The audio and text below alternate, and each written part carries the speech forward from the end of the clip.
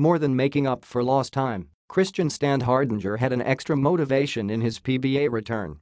The Filipino-German's grandparents Pablo Boy and Lolita Hermoso, who are based in Los Angeles, were in town to watch their grandchild play in the PBA live for the first time.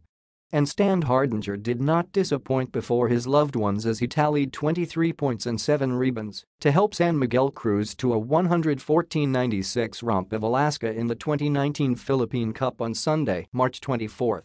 It had been a relatively quiet night for Standhardinger after scoring 9 points through the first three quarters before he erupted for 14 big points in the final frame to power the Beermen's pull away.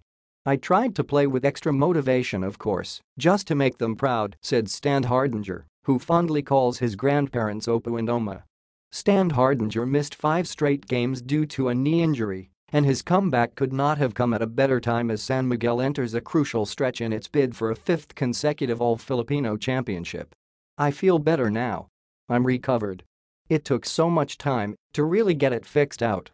I played 16 months, said Standhardinger, who also played for Gilas Pilipinas in the World Cup qualifiers in between PBA conferences.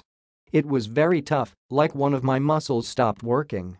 So I'm happy that nothing more serious came, but it took so long to make its work again, to build muscle, to load, but I'm happy I'm back now.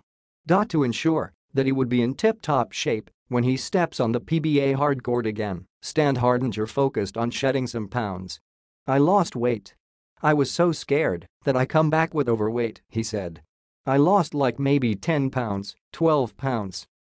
San Miguel, which finished the elimination round with a 7-4 record to secure a top 5 finish, takes a break before the playoffs kicks off in the first week of April. Standhardinger plans to use this welcome layoff to regain his finest form. I need like maybe three more games, two more games to really get back in the shape I was before the injury, and I hope